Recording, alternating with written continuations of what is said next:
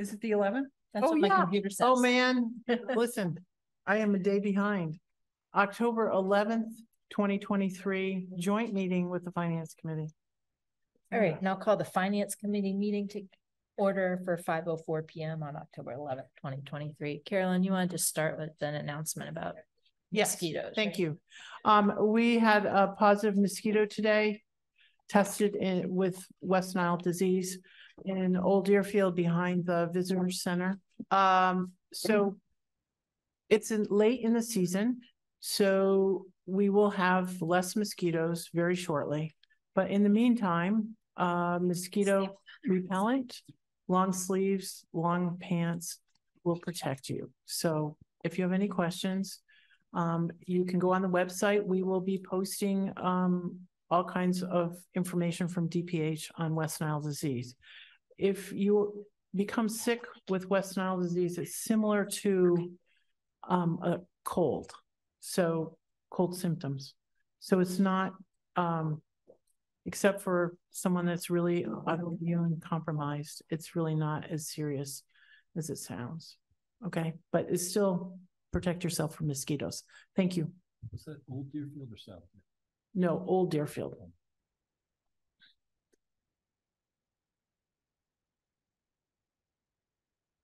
All right, so we have um minutes to approve from our previous meeting. Anybody like to make a motion? I move that we approve the minutes of uh the October the third meeting. Second. All right, any discussion? No discussion, all right, um, we'll do roll call vote. Um, David Sharp, Dave Sharp, aye. Mark Brennan. Mark Brennan, I. Julie Chalfin, I, Jim Cambias. James Cambias aye. All right, that passes unanimously.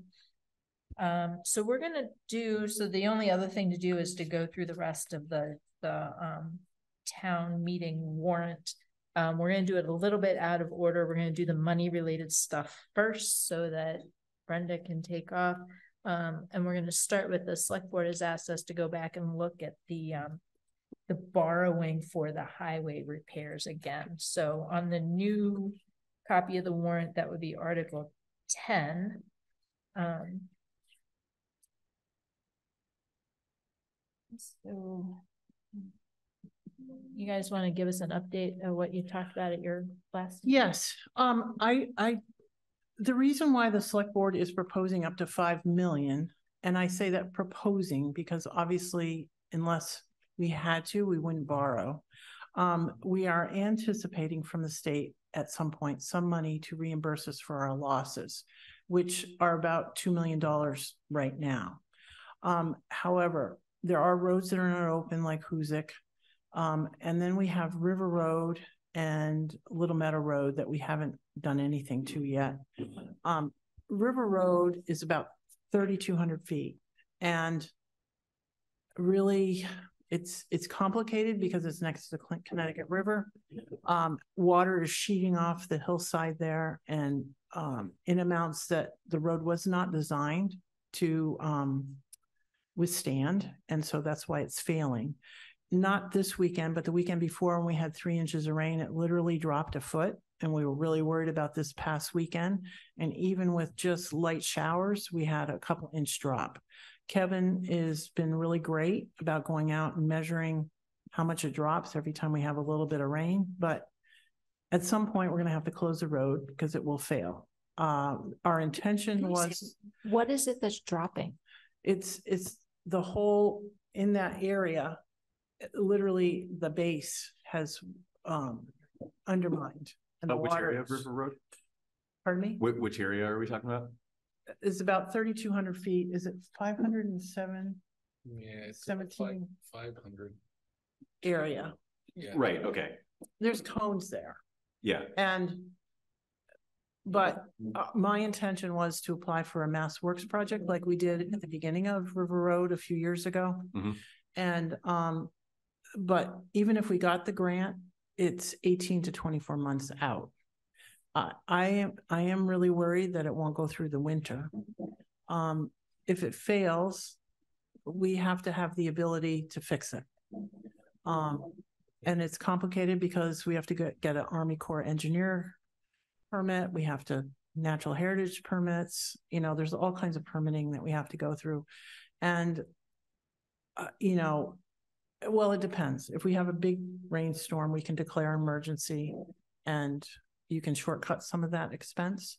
But then you can't, you have to go out to bid, you have to do all that stuff.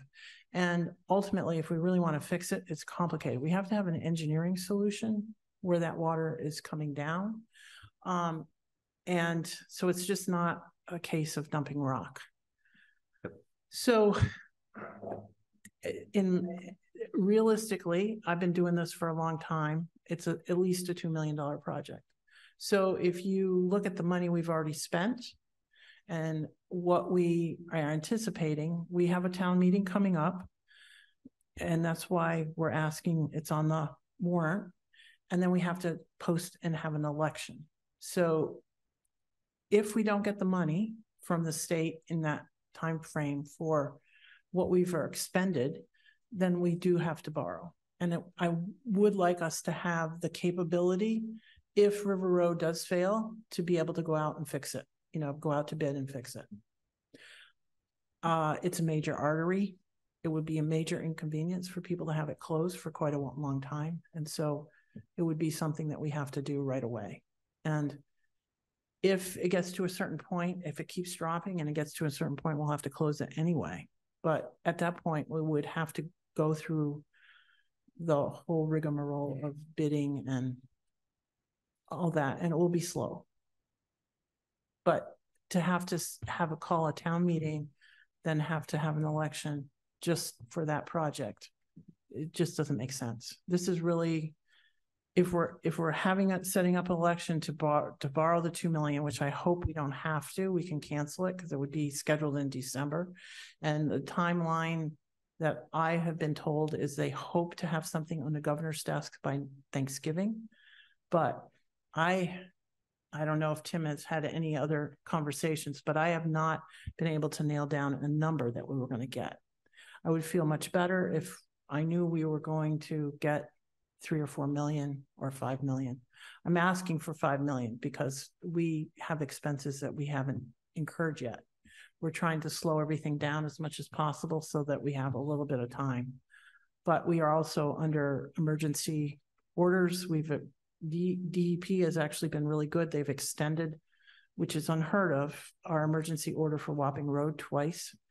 Um, they've been really accommodating and that's, uh, I don't want to say that they haven't cooperated with us, but the fact is that they're, they are really doing a lot for, to work with us. Because they know we're pretty stressed out on how to manage this. So if you have any questions, I'd be glad to answer them. Go ahead, Brenda. So, um, sorry, excuse me.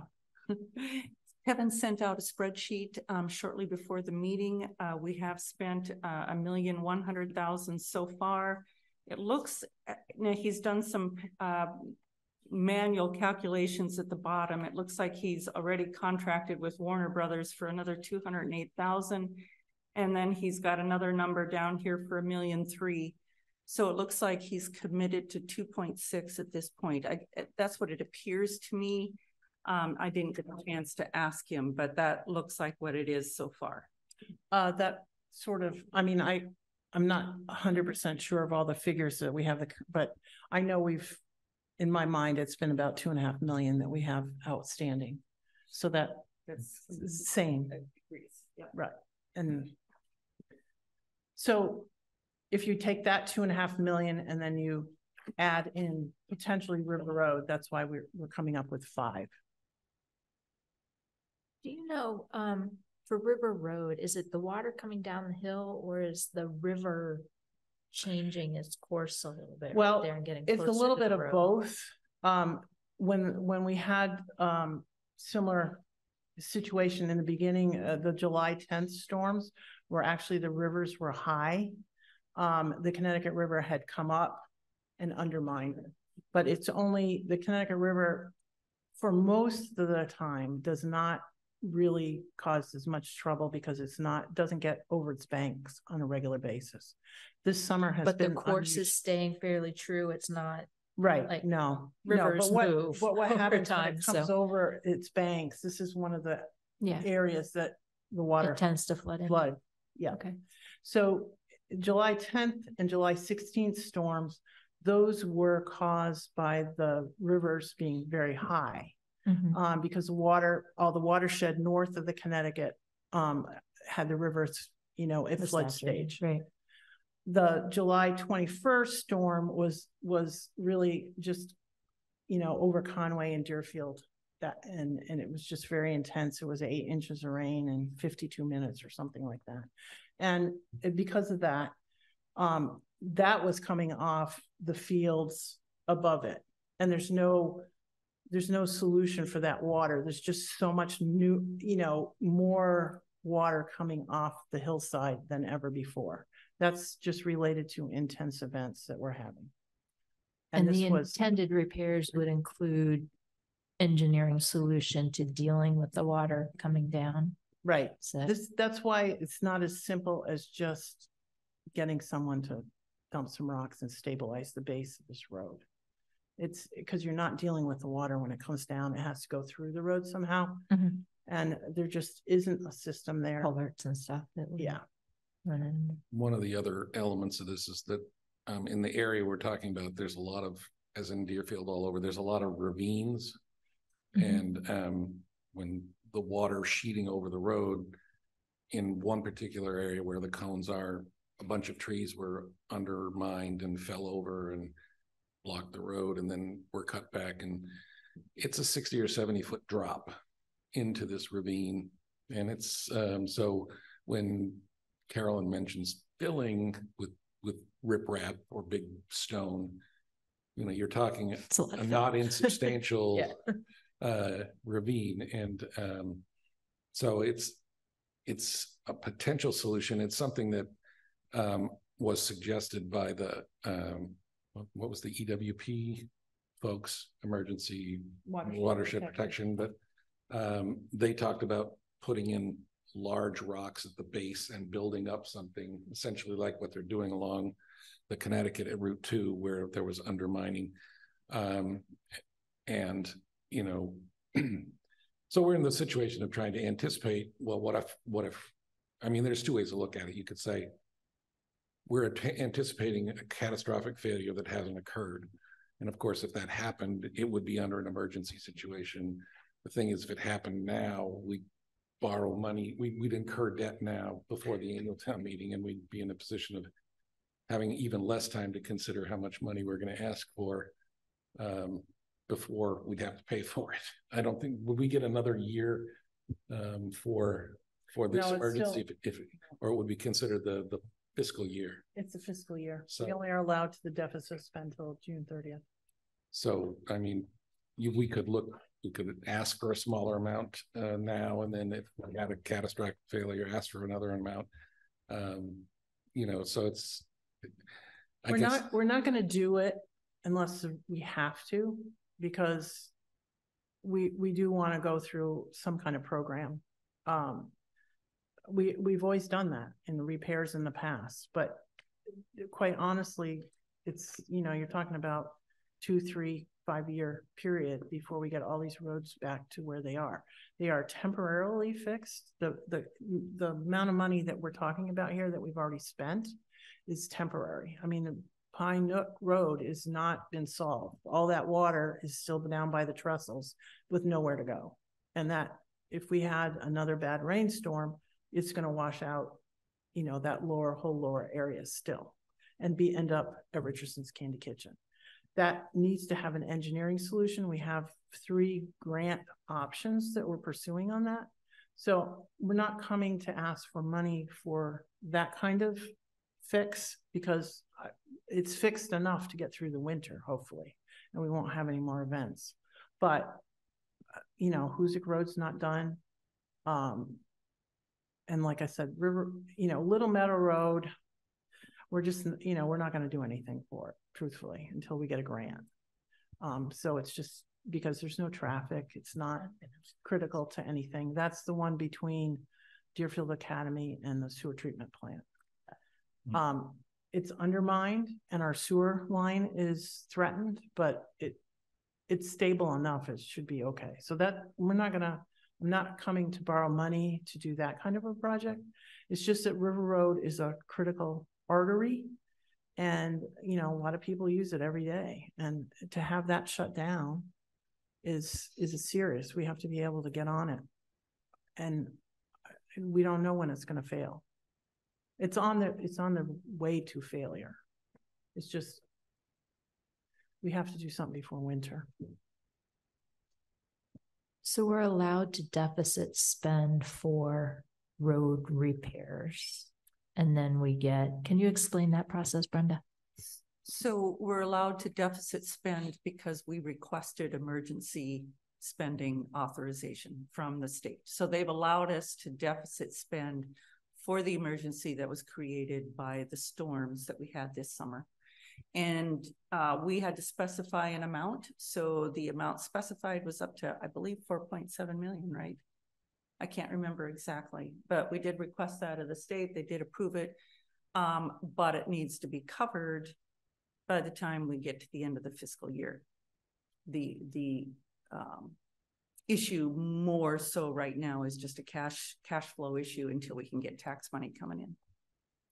So when we say we deficit spend, where does the money come from that's spent Our, before? our cash accounts, which are depleting quickly.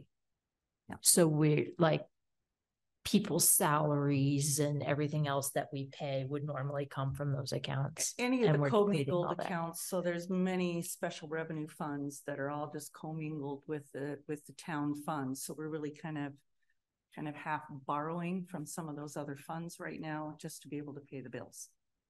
Okay. And I think that's part of the reasoning behind trying to get the tax bills and the tax rate set early so we could put bills out before. Um, and, and it's, we've just, we've had discussions about trying to do what other communities do, which is, you know, put out the tax bills in a timely fashion. But say, you know, if the tax rate changes, we're gonna have a, a makeup in the spring payment. The second payment will be Right, which, higher. which to me makes perfect sense, but, um, you know, other people may have different opinion about it. I, it would address the whole question of cash flow, you know, because you can't, you can't take in cash until you put out the bills. Mm. But if you could put a bill out and then make an adjustment, then it might solve some of that problem, not all of it, not, not, not the emergency situation we're facing, but Yeah. Well, that, I mean, we had, we are encouraging everybody to figure out how to do that for next year. Yeah. So, I mean, you have to do, you can't do it like immediately, so. No. Has to be a year's warning, so we'll, we're gonna figure that out. Um, just so we don't have cash flow issues in the future. Cause it seems like it's harder and harder to get our tax bills out on time. Not, you know, to be fair, Patriot you know, there's a few places for the assessors to have. Patriot is one of the few contractors for, you know, set, that helps set the bills, so. Yeah, and I, and Brenda, just if you could explain this, um, part of this is if we, if we approve this at this meeting, then we could do a ban to a certain amount and then, and then bond, bond an actual borrowing if it, if we don't get anything from the state? Right, I, I guess, um, the way I saw this happening is if, if this does get approved by the town and it's debt excluded, um, that would allow us to borrow on, on a temporary basis. So I would think that we'd take out a ban for a year or less than a year and, and cover our costs. And then when that ban came due, if we got money from the state, then it would be applied against that and the remaining balance would be what we'd either continue to borrow short-term for or to bond for, depending on how much that is. I I'm I've done this enough. I mean, the, the problem is the damage has been so unprecedented. This is worse than Irene. Um, that it, it's, it's a staggering amount of money. And, but we, we've done this enough in the past that the state has come through to us, for us, always, so I, I'm anticipating us getting the money. It's just that these projects with River Road hanging over our head is just such, you know, large magnitude that we just have to do this. This is not something that we can just move money around for a couple months and keep our fingers crossed that, you know, somebody's gonna get something to us pretty soon. I, I don't think it's a problem. We will get some money, but it's, you know, I don't have a, I don't feel comfortable saying that we're gonna get the four or five million dollars that we hope to get. Um, we'll get something towards it, but I'm not sure if that's enough to cover River Road, and that's what my concern is.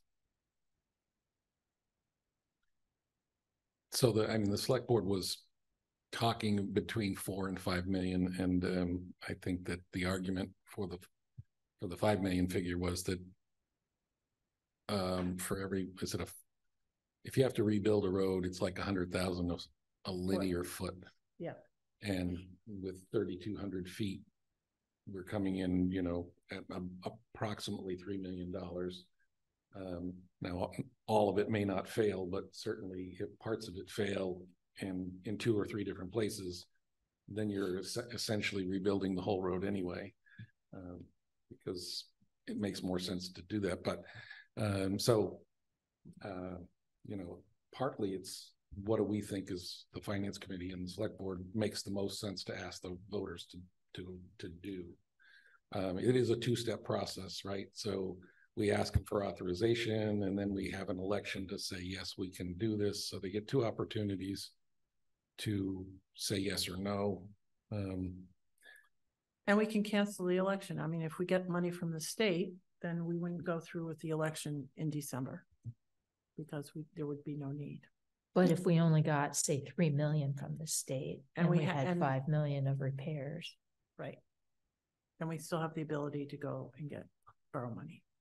So if, and just a procedural question, so if at town meeting, five million was approved and then it was later decided that only two million was needed or something. Can you, can the election be for just two million? Or does it have to be the same as was?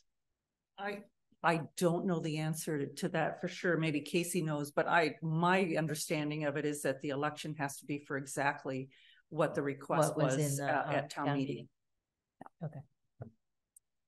And obviously, if we're not gonna use the money, if we get the money from the state, we would wanna cancel it, so it's not against us. Yeah, our rating. Um, if you don't borrow all of that, you can always rescind that borrowing authority at the next town meeting. Um. Right. Which I would, yeah, we would need to do that.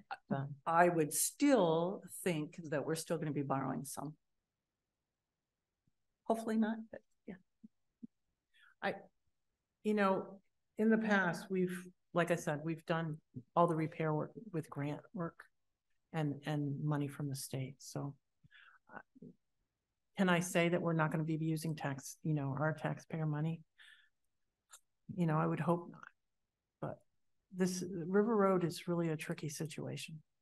And that's, and I had hoped that we would go through the winter, but I, d- I just, I'm not sure anymore. Mm-hmm. I So I think it's just- not so much winter as spring you have to worry about. Well, it depends. If, if we have a warm winter, it's h- higher anticipation of precipitation this winter.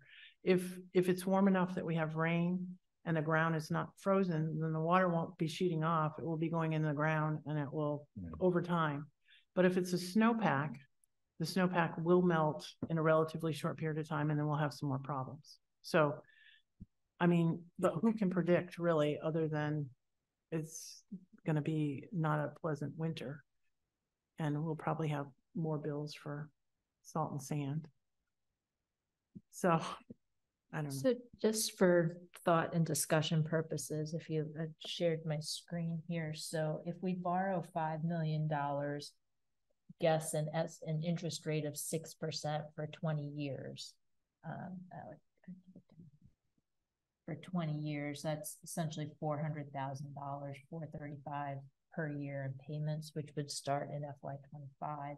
So if we do what we did when we were talking about the library last year, um, our average single family home now updated for, for this year's three, three hundred fifty-nine thousand, six hundred sixty-one dollars.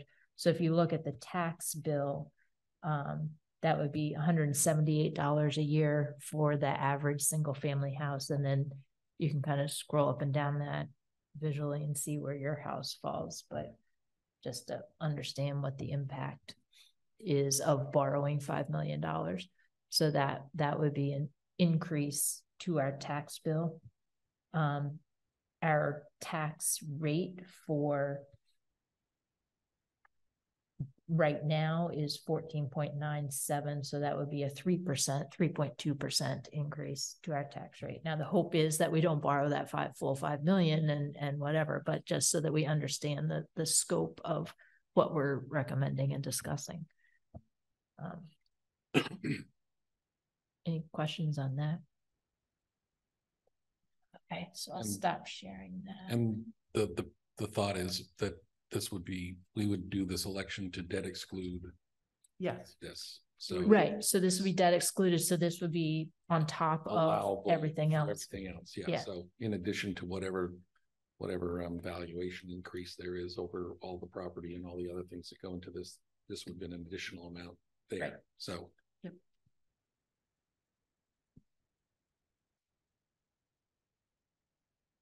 Um, does anybody on the finance committee have a suggestion or discussion? So, um, and y'all weren't here at the finance committee last week when we discussed it last time. So the rationale behind, this is my memory, the rationale behind the two million recommendation from the finance committee was that there, there's sort of two problems. One is that we have all these repairs and it's gonna be five million dollars worth of work. The other problem though is the cash flow problem. So if we were to borrow two million, that this is my memory of the discussion. If we borrow two million now and approve two million, that would get us past the cash flow problem.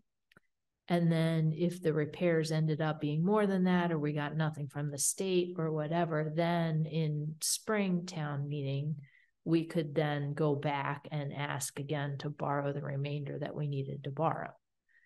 Um, the, I guess, advantages to that is that it's a lower dollar amount, so we might, I, I imagine we'll get people unhappy about borrowing, roads seem like a pretty um important thing to to keep repaired, but um, we might get less pushback and have a, a better chance of having it pass at the, the special meeting.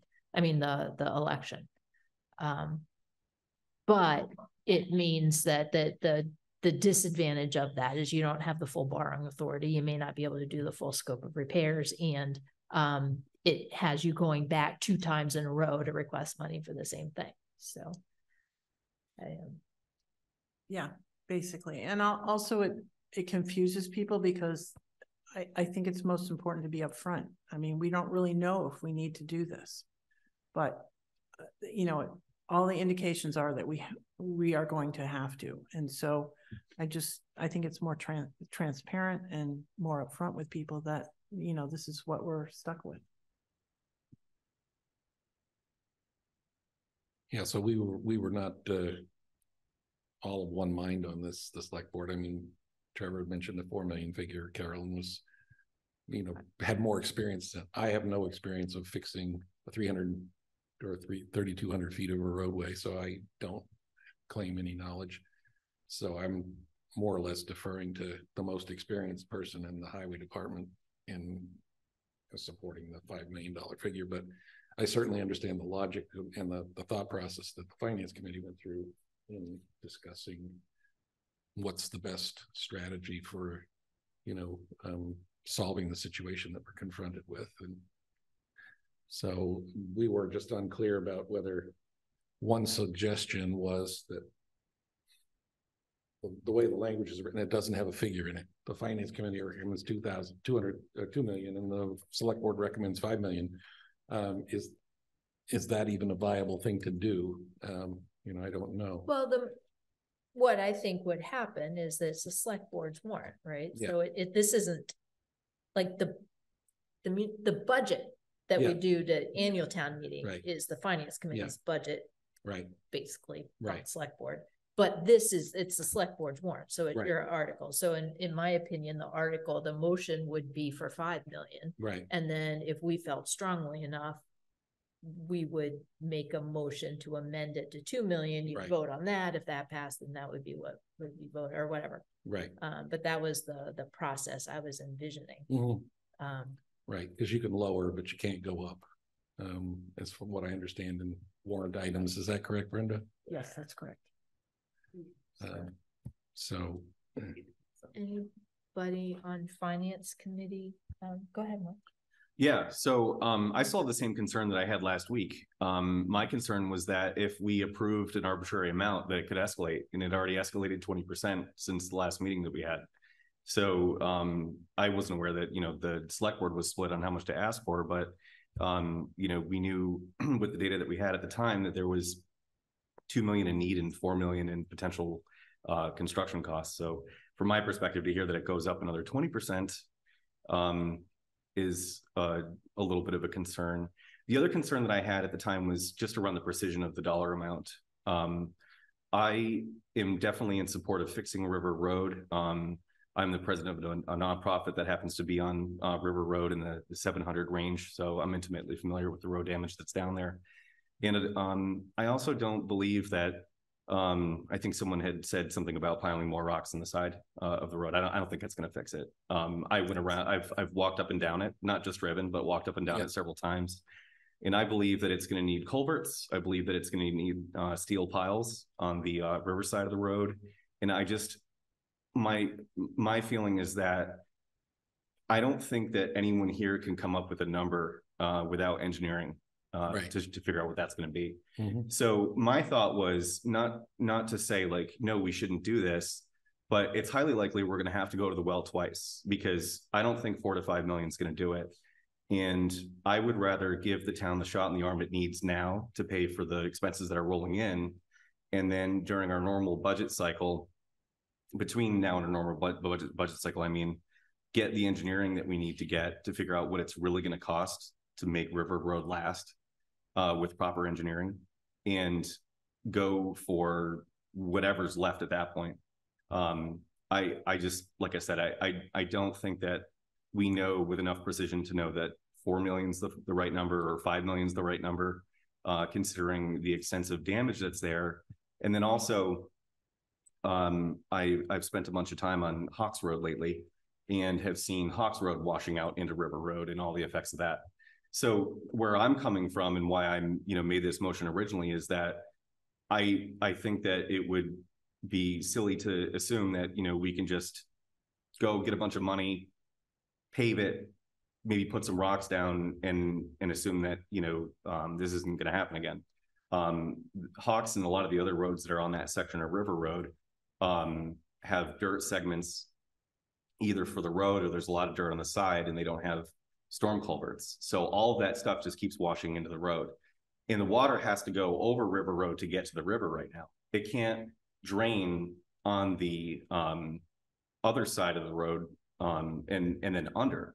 Uh, it, it has to go over the road to get there. So I think that this is going to be like a really big engineering project. I think it's going to cost more than four or five million to do, and I would just want more precision in that number. So. The problem is to go out and hire an engineer, you gotta have cash for. And most of your projects now permitting and engineering is about forty percent or more of the project. So and we need, and I am saying, I'm agreeing with you hundred percent that this is, needs to be an engineered solution. This is not just a dumping rock situation. And even to stabilize it is not gonna be, I mean, you're talking, we need eight by eight rocks or giant amounts of rocks to stabilize the area. So the thing is, by, by not getting the money enough upfront, we don't have the ability to move forward with whatever the solution is gonna be. Uh, cause we will need to have more money. mhm. Uh, We, we know we've already spent uh, in my, like I said, I don't have the, the numbers exactly like Brenda, but we're only a couple hundred thousand off from what's in my head, which is, we're already over two million. So mm-hmm. by just borrowing two million, we have no, there's no ability, we're already short. So, and, and we haven't stabilized all the roads and we haven't finished, like Hoosac is still closed. We haven't done that yet. We're hoping that that will be done the week of Halloween. And, and then we'll get the bill sometime in November. But, I- mean, by, I know that the five sounds bad, but we have to have the ability to ha- move forward, to have money to do the engineering. We're not gonna do a Band-Aid on this. This is gonna be an actual fix. So that's why we're talking about so much money, because this will be an actual fix that we do not have to come back to. So if the, let, let's say that we do need to, um, do a bunch of engineering work and five million's not enough, then, then aren't we in the same position where we have to ask for money again? Yes, but we could come back and do that in the spring if we don't have enough or the state hasn't come through. I'm hoping at this point we have had, we will get money from the state. It's just that if River Road goes, I mean, it's, is going faster than I anticipated. Right. It- I, I was hoping we could get through the winter with what was been done and we would do a Mass Works project and it, it would be taken care of. But I, I, what's happening, what, or what was so alarming to me when we had that, not this past weekend, which thankfully it was downscaled, but the weekend before, when we had three inches of rain, it dropped a whole foot. Mhm. At, and, and even though we only had showers, it dropped a couple inches over the week, this past weekend, even though that was a hugely reduced amount of rain that, that was anticipated. So, I mean, is it gonna fail? I don't know. It, when is it gonna fail? I don't know, but I'm just saying it, it, it might be something really soon. And we need to have the ability to go out and get it fixed. And we need to have the ability to borrow the money to pay it when we, So if Um, we were to do a special town meeting, what would be the soonest date we could do that? To vote on whether or not we should debt exclude this? Election, not. Or, uh, n- uh, sorry, that's what I meant. Yeah, sorry. Yeah, thank you. well, right now, we would set it up for December. So if it, so if we do that in December and then we go and, uh, you know, borrow, how quickly could we actually get construction crews in? Like, would we be able to get them in for December or January? Depends on the weather. Right, And it depends on what, I mean, I don't know what the solution is. That's why I'm saying it has to be an engineered solution. yeah. Um, I, I, I mean, I, I think that we're, we're probably agreeing, but you know, the, the finance Yes. approach is a little different. I, what, what I would want to say, how far are we into the engineering process right now? Like, do we have any engineering going on in flight? Okay, no, we have not committed to anything. Yeah. So would we go ahead and get that going? If this were approved and the road hasn't failed yet, would we go ahead and? and I'm, I'm start still that trying to process? get, um, it covered under the NRCS's EWP program, the Emergency Watershed Protection. The problem is that if the Connecticut had come up again, then it would been n- not a problem. Clear, yeah. But this is water that's shedding off the mountainside, you know, the hillside. And that's, that doesn't really qualify for, you know, a waterway kind of restoration protection. Don't worry, I'm pushing it. But, you know, if so, if, if it qualifies under the EWP, then their engineer, it, engineering and permitting pretty much is covered and seventy-five percent of it is covered. I don't, but I, but I've been trying to get this covered for a couple of years now. We've had, you know, this was from July of twenty-one when we first had some of the issues with River Road in that spot. And it really didn't qualify. So I'm, So I'm, I'm gonna say, I'm not, I don't want to disagree with what Carolyn's saying or anything, but I would like the finance committee and the select board to go into this meeting with pretty much in agreement about what we're doing. So I, I'm, I guess I'm sort of saying, is there, if we have two point six million in, in anticipated expenses at this point, is there a number above that that we can agree on that we're gonna ask voters to do, like three million dollars? Because mm. a catastrophic failure is a catastrophic failure, and it's something we're just have to respond to because it's a catastrophic failure. An engineered solution is a totally different thing where you actually consciously go out and make choices. And I, I don't know that borrow, necessarily borrowing five million dollars is gonna get us to that engineered solution. So, um, Let, let's hold that thought for a minute. Yeah. Jim, you had your hand up earlier. Sorry Yeah, well, it, it sort of relates to that, I guess. Um, it sounds, I mean, I'm sort of, a- it's, um, Mark said this already. It sounds like we're gonna be coming back in the spring to the town to ask for more money, pretty much regardless. I mean, from what Brenda said, we've already basically spent two point six million. right? That Well, Kevin this- has already this uh, if we don't- expended that. Yeah. So what's a reasonable amount of additional expenditures to expect by, I don't know, when would construction no longer be possible, really? January? Depends on the year, right? Well, last year the ground didn't Mhm. freeze. Yeah, And this year, we're gonna get a lot of precipitation. That volcano that popped off put an absurd amount of rain in the ionosphere. So regardless of like where you fall in the climate change thing, everyone agrees that this is gonna be a high precipitation year. It's just, is it gonna be above, above thirty-two degrees in rain or is it gonna be below and be snow? So I think it's fair to assume that, you know, um, this is gonna be a sketchy year, but no one can really um predict, you know, whether or not we're gonna have, you know, strong El Nino pa- patterns and and whether or not the ground's um gonna freeze or not. Um, but even so, even even if the ground freezes, like if if we're not getting approval for this until December, like I don't see how you can mobilize construction crews until at least maybe March or April. Um, if if if you can sooner, then then fine. But I I just I really wonder like even if we get that money, what can we do with it? Um, you know, after December, like, can we do anything in January or February? Well, can do some I mean- engineering. So I mean, the, if we. the second half of we my have sentence to was. Worry about this Oh, if, if sorry, the sorry state comes, derail you, Jim. comes through. Yeah. I mean, Yeah, but I mean, the second half of my sentence was, you know, how much are we, more are we likely to spend in the next few months? And maybe we should make that our benchmark. So part of the argument for borrowing now is that, um, you can't start until you have approval for the funding. Um, so if we could start, you know, if the thing fails and we could start repairs in, in even like the day of town meeting, we wouldn't be able to do that until after we had town meeting and got it Brenda approved, mentioned, so. that, you know, she's been dipping into commingled accounts to True. keep the current yeah, operations. yeah. going. That's true. And I was wondering how much more is likely to be spent on top of the two point six million we're already basically written checks. for. Hard, hard to know, hard to know. I, I was just saying to Carolyn, you know, we, we have the authorization from DOR to overspend. Yeah, we still have to cover it. Yeah, that money's gotta Um, come. But we some- have the authorization to overspend by four point seven million. Um, what's to say we can't um, engage an engineer now while we're trying to figure out this borrowing and the debt exclusion so that we know what we're going to be facing down, down the road and still get something here on our books for December.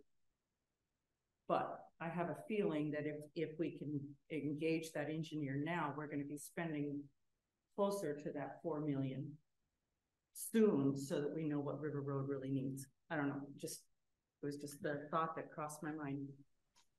I'm, I'm, I'm trying to hold off as much as possible until, you know, until we get a number from the state. I mean, I'm hope, I was hoping that we could get a number before town meeting. Um, even though it's not ready for the governor's, you know, to sign it.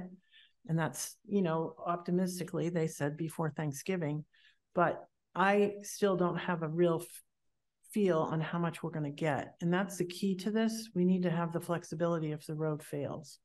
You have to have, be able to go out and do something. And Yeah. To, to Mark's point and to Jim's point, though, um, if the road fails in the winter, you know, when we had the problem with Route Two going out to North Adams, it was closed for six months. I mean, people just didn't travel that road and this may be a reality that is gonna happen with River Road if it fails. You can't fix it because you can't fix it.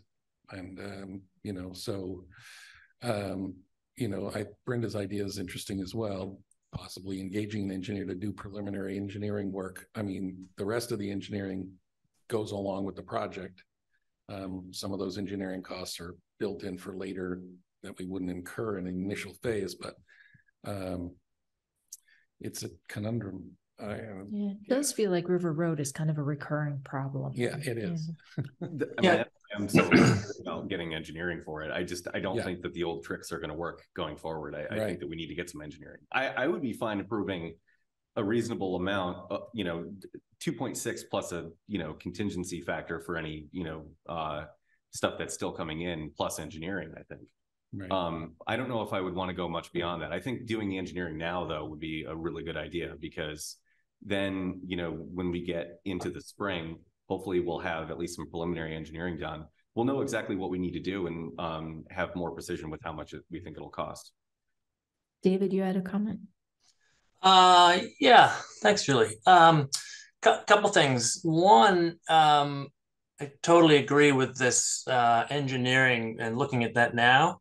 My memory is that River Road was just redone not so long ago, um, or at least a huge part of it. And we really shouldn't be paying for these things twice. Uh, and I worry that we sort of have, have been doing a little bit of that. So the whole build back better idea is sort of should be a seems like a primary focus. And I think the general consensus that I'm hearing is that whatever part of River Road this is, and I apologize, I can't totally visualize it, everyone seems to be saying, at least the people in the know, that it's going to need to be done. Uh, some, you know, weather event's going to happen or something. It needs to be done. It needs to be done a lot better. And so I don't know if that's really true. I don't know why we wouldn't be really pushing to, um, in this borrowing that we're about to do, uh, do the engineering uh, work to get it done.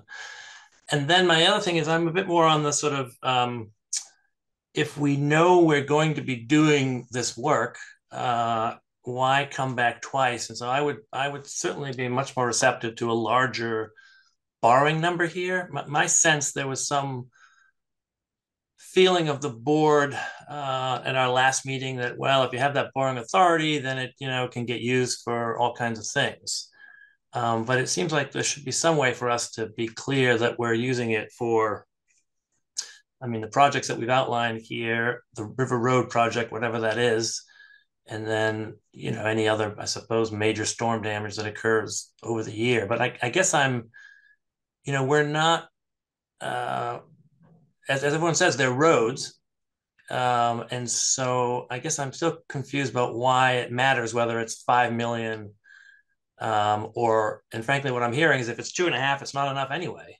And we and and two from the last meeting is clearly not enough because we've already spent two point six, Yeah. and we don't know what we're getting from the state. Um, so I'm I'm still stuck on that. You know, you know, we, we should all trust each other that we're going to spend the money on on the right stuff, and it's also not. Um, an approval to spend it yet. It's really just saying we need to be able to move quickly if we need to. So those are my thoughts. I'd, I'd like to point out that since we're already beyond two points, we're already at two point six million and are likely to go beyond, that kicks us up to, we'll say, three million. If engineering costs are going to be approximately forty percent, uh, twenty percent, forty percent, you said, of, you know, what's being spent, then that would be off of five million, that would be the other two million right there. So I think we've already, you know, we've already, that the concern that there would be money borrowing authority that could be uh, essentially frittered away on other non-essentials, I think has kind of gone away because the essentials turned out to cost more than we thought. So do you have a motion for five million?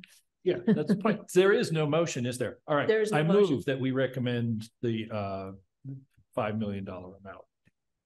Do we have a second? Um, could I just ask again, just to clarify, what did the, there was some talk about the select board was also a little bit not, um, That was me and I, I will, go ahead and ask your question and then. well, I'll- you, that you weren't on the same page, but have you had a meeting yet where you've recommended or you're sort of coming to the board requesting the five? I, I actually um, was recounting sort of historically, and I didn't express myself well. We, we did come down on five million um, as what we wanted to recommend. You did or didn't? We did.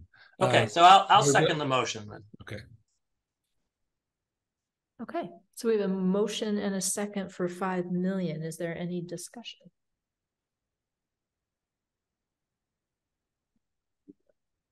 We did discuss at length, but give you time to percolate for a minute. So just to be clear though, I- that forty percent number, wouldn't that be engineering along the project plus permitting? Like I, I think the for, it's- to say it's forty percent in engineering is, that's, that's not the cost of the preliminary engineering, right? Like, wouldn't a design be far less than that?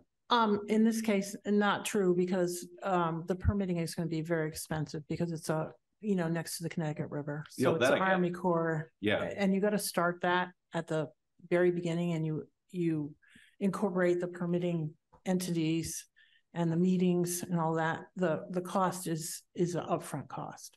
so if, if one is designing, uh, redesigning a road and it's not during a disaster, how, how does, how does a municipality, you know, forecast the cost of that project before you get started? Well, in an emergency, which is what we've been doing, um, generally you do not, you do patch up work.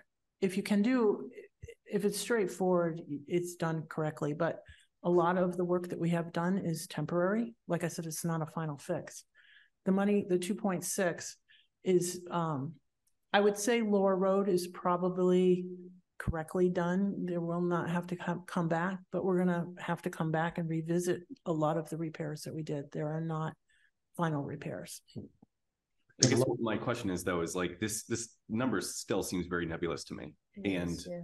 Um, what my question is, is if I want to build a new road, um, or, or take a road that's not um, in a spot where, uh, there's this big ominous winter coming. And, you know, I'm confident that it's going to get through like the next year, let's say. How would I go about planning how much to ask for under normal conditions for engineering permitting and the actual road construction itself? Because you know, I, I get that, you know, we, we probably have some special permitting to do with, um, the Connecticut River being right next to it, but I, I, it just, it, I still like, don't have a sense that we know we're, um, even in the right ballpark for this. Well, it's been, it's been my experience over the years that, and, and lately, it is about a hundred thousand dollars per foot And it, that's for reconstruction, right? Reconstruction. So that's not for building like storm systems and. No, putting that's the steel tile. total, total. And The That's total. for engineered culverts placed in the ro- proper s- Yeah. spots, um, sized properly, um, with down, with downfield engineering so that the water doesn't tear up the uh, far side of the road. I, I, I know it's a general amount, but surprisingly, it just seems like that, that always ends up to be that, about that much. And, and you're cutting away, when you do emergency repairs, you're, you're, the permitting, the Conservation Commission is giving you permission to do the repairs without the permitting and without the engineering. Generally, it's just the contract, straight contract. We have not hired engineers, is that correct? I don't think so. I don't think so either. Uh, we've just been working with contractors on our repairs. And that's why Pine Nook Road is not a complete fix because the water is, you know, no, no one addressed where the water is by the trestles. It just dumps there. It's a bottleneck. No, no one solved where the water, so anytime you have excess water, it's still gonna go through the trestles. Mikey, Mikey Antonellis's farm and then down to five and ten.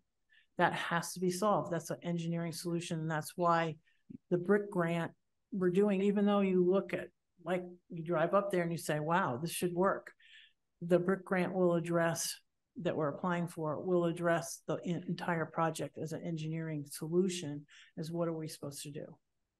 And, um, that wasn't addressed at all. The, what we have done, the two point six million that we have spent already is addressing the fact that we're getting the roads to the situation so they can get through the winter.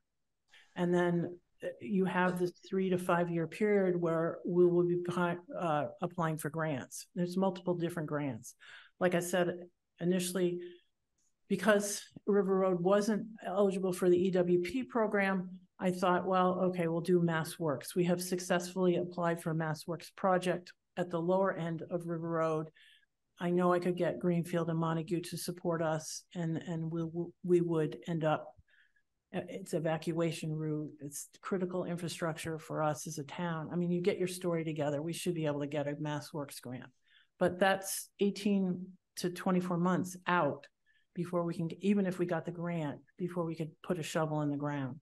So what I'm saying is, I'm, with the road dropping a foot in that, in that rainstorm of three inches, I'm, I'm just worried it's not gonna get through the winter. This is, my plan was to do this and move forward. and not cost the So town is the intent that if this is approved at town meeting in the election, then, then what happens? Is the intent to go ahead and proceed forward with engineering now? Or is it Well, to I'm- wait and hope the thing holds together and? Well, I'm just fails? having Kevin, Kevin has been really great. He's doing it on his phone, so there's documentation. We're just monitoring the road. I'm having him, every time it rains, he's measuring it.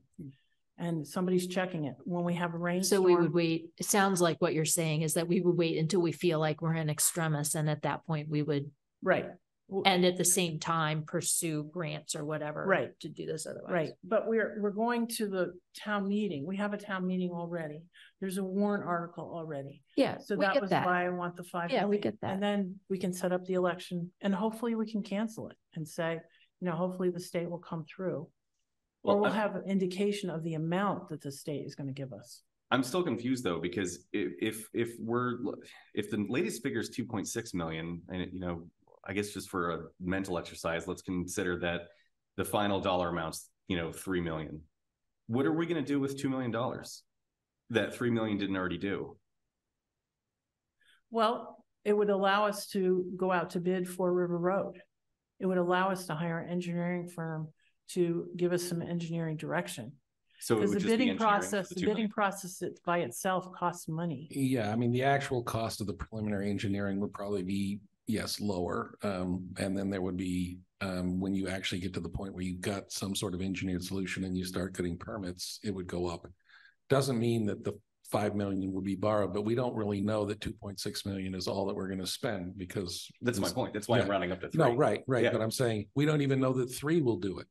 That's, you know. that's also my point. Right, So what are we gonna do with the two million? You know, like, we, we don't have a plan still. Well, we have, a we have the ability, if the state gives us some money, say, say, we're asked, we've already asked the state for five million. This is what we need.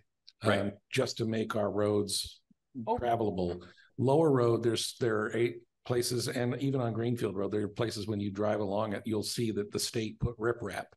That's not a permanent solution, but it's the solution that the state put in place.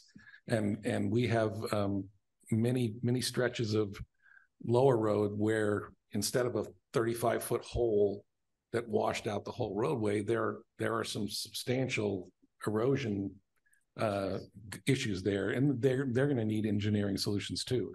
The solution we had on Lower Road for the big washout was to put in a sixty-inch culvert because it was engineered for seventy-five years ago when the water was passing through there.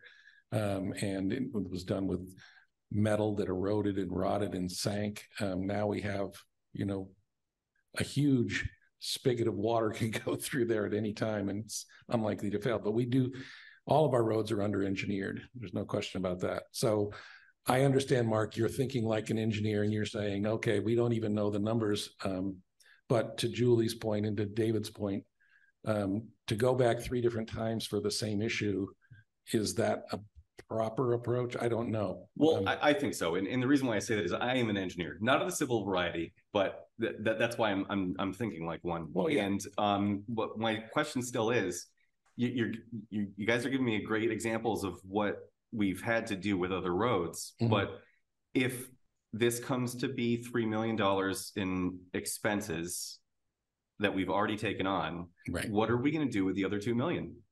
We don't have to spend it. We don't have to spend it. The point is, this is up. Don't- to- Borrow is good. Up to, and if there's no real reason to spend the money, then why would any of us spend the money? Well, so uh, what, what, what you haven't said is we're gonna spend two million on engineering, or we're gonna spend two million on shoring up this one specific segment of River Road that is of highest priority. Like, I I want to give you guys money, is, is It's really not where I'm coming from. it's- It's the residents. And I want to give the town money. Yeah. But no one can tell me what we're gonna do with the money that you're asking for, so. I- that- That's I the can- problem I'm I can Yeah. tell you that if River Road continues to fail at the rate it is failing, we will address it and we will be spending that money. Um, because the, we have to fix it. So is what you're saying, the remaining two million would be on emergency repairs? If, if River Road actually fails. It, it is in the process of failing. Okay, We are not clear on the rate. right. And the reason why we haven't come and said, we're gonna fix it, we haven't hired an engineering firm, is because I am trying to find alternatives through grant programs that will pay for it. Okay, My concern, and the reason why I'm here tonight, is that I do not think it's gonna go through the winter. This is just based on, you know, looking at it and, and what has happened every time it rains. I don't think that, I agree with you, we're gonna have lots of rain or precipitation of some sort. So that, to me, is why I'm here to say that it, the likelihood of it failing is gonna happen. But we haven't spent any money on that because I don't want to commit town dollars when I don't have to. Mhm. And that's exactly why you don't have, I can't tell you exactly how much it's gonna cost because we haven't expended any dollars yet. We've just had a ton of people come out and say, oh yeah, a couple million bucks. You know, I can say that. I am telling you that. Yeah. Just based on my experience. But we've had contractors say the same thing. This is gonna be a big project if you rip everything out and rebuild it and rebuild it correctly. yeah, which I think has to happen, Right, which is why I'm right. like very. cons- But we you know, haven't Yeah. done that because at the moment, you can still drive through there. We're monitoring it. Kevin, like I said, Kevin's out there all the time. The police, when we had that three inches of rain, the police are patrolling and if, if it looked like it was dropping more than that foot, they would have closed the road. Yeah. And, you know, I'm, I'm in con- constant conversation with whoever is on duty when we have these rainstorms. And they're checking our spots that we have notoriously have problems. So we're doing everything we can by not expending town dollars, but we need the flexibility if we have to. And that's, I guess, that's what I'm asking for, is just try. But I, and I honestly have a track record of not spending the town money. So I, you know, beat on tables. Jim, you have a comment? I was gonna move the question. It seems like we've sort of at this point, sort of gotten to, everyone is sort of saying the same things that they've already said. Okay, I think we have to vote on that. So we, Mm. somebody's called to move the question. All those in favor of moving the question, Jim Cambias, James Cambias, aye. Beth Brown, Beth Brown, aye. Julie Chalfant, no. Mark Brennan, No, Dave Sharp. You get to decide. Are, are are the no's because you have a few more comments or? I mean, I mean, I'm happy to have, uh, I'm happy to do a no if we're talking about just a discussion. I'm saying no, because this is a lot of money and I think we should. No, but that's, but we're moving the question. Right. Which and is just wanna take- Discuss it a little further. You, you would like to? Yes. Okay, so I'm, I'm gonna vote no. Dave Sharp, no. Okay. Um, Dave, do you, do you have comments now? Um, I just, just a, a- a- I guess a question and a comment. Carolyn, of the two point six million, um, that has already been sort of expended for repairs, how much of that, those repairs do you think are gonna need to be redone because they were not engineered to sort of build back better and were more in the nature of an emergency repair? It's, it's hard to say. Like I say, Pine Nook hasn't been solved. So we need to look at it from a whole, the whole concept. So do we need to rip out and rebuild what we put in? I do not think so because I think the culverts are big enough, um, you know, down the road, but we haven't solved the bottom.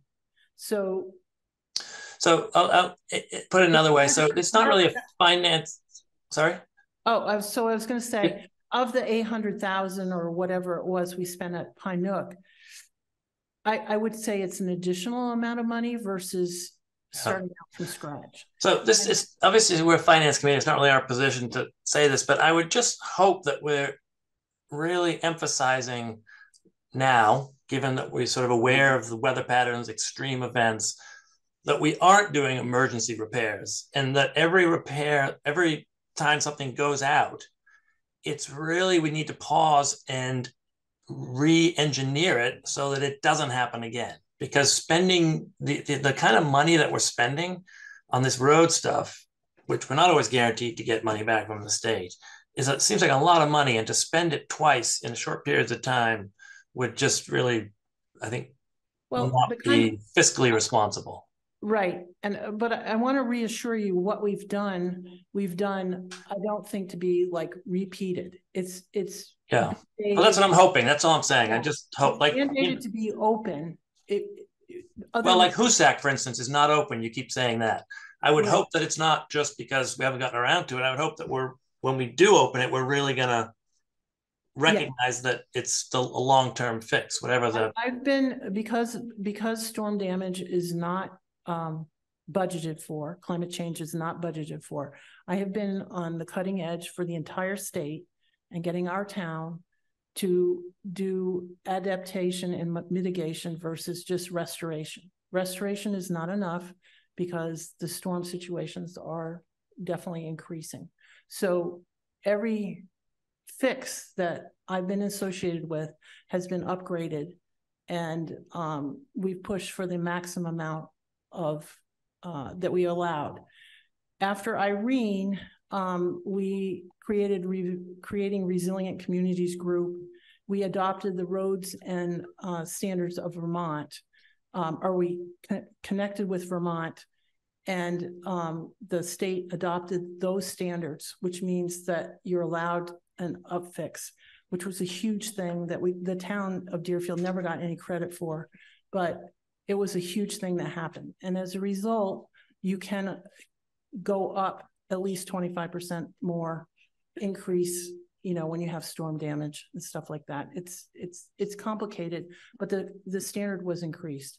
And we have been doing that, um, cr- you know, quite a bit. So I'm, what I'm saying is that certainly aware of that. And, but it was also, we had so many roads that were closed.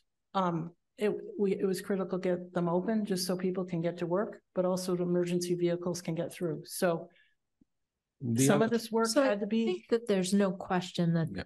the work needs doing. Right, Um, there is, um, by approving the five million, um, for borrowing, you're putting the trust that we always put in the select board and the town to spend that appropriately. Um, and to move forward in a reasonable manner. Um, where we're doing a long-term fix, but also not spending too soon. Um, are there other, do you have other comments, Mark? No. No? Do you have anything else? I just wanted to Beth. say, Hang on just a sec. Yeah, yeah. Beth, anything else? Um, did I miss when I, wait, um, talking about how we're paying for the five? It will be borrowed, debt excluded, so it will have to go to an election to vote to debt excluded. So it would be, we did go through, it's, And, and then the hope is that at least some of it will be made up with, from state grants, but those will not arrive for a considerable amount of time. yeah, and, and, um, Julie put up a spreadsheet to show the effect on an average homeowner. Um, of the five million, which is sent out. right? Yeah. I looked at it. Okay. Good. which was very helpful. We did, yeah, we did look at that, yep. Jen, we're hoping not to comments? borrow, but I mean, I know Tim, you this- had something, and I know ahead. This is your meeting. I don't, don't mean to interrupt in your discussions, but I would like to say that we are asking the, I think Brenda pointed out, it was four point seven million we're asking the state for. Um, I think we should at least approach that number when we ask the town because this, this is a number that we think is gonna make our roads passable, you know, when, when all is said and done, all the money we've spent already, and then um, so we go to the state and, and, uh, ask for five million dollars, four point seven million dollars, but we're only asking our, you know, our town to give us the borrowing capability for two million. If they give us two million, half of what, we're half of what we're asking for, we're still gonna be in a situation where that might not even cover what we've already spent. So, Does it make sense to do four point seven all around?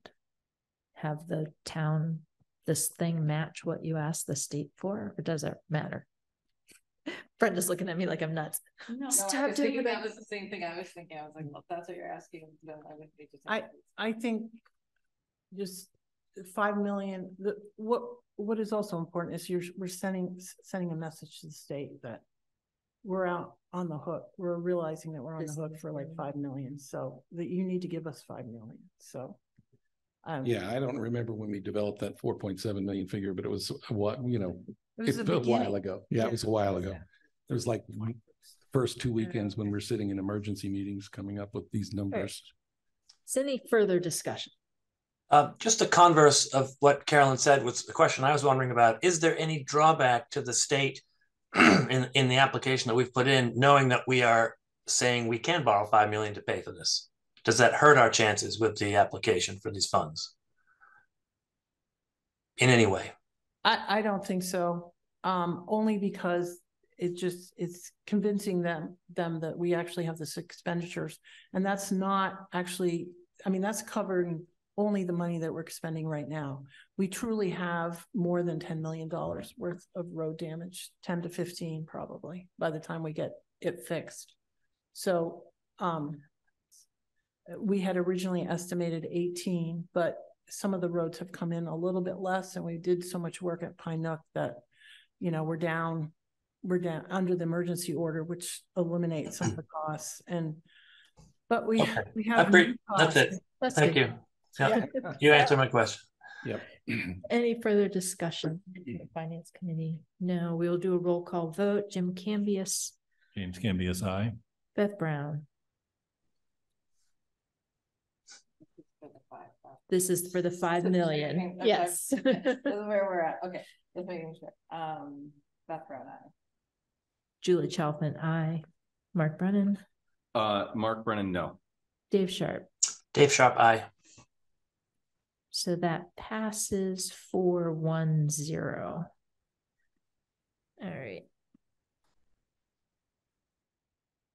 Um, so Casey, that'll change. Like I know this is posted already with finance committee up to two million, but when you do the. The one that you hand out at town meeting will change that. Yeah, it will change in the guide.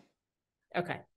All right, so the next article we're gonna discuss is the class comp plan. That is Article four. Um, Brenda, do you want to tell us what this is about? You said there was just one change, right? Yeah, this was- is just, just a revision to reflect the um increased responsibilities for the assistant town clerk. Um, who has to operate as the town clerk in the absence of a town clerk. And so um, the personnel board has seen this, reviewed it and approved it. The select board has approved it, correct? Yes. Okay. Um, so it's moving the assistant town clerk from a grade C up to a grade E, which is um in line with the assistant treasurer collector, basically the same, same kind of responsibilities in the absence of the treasurer collector. Um,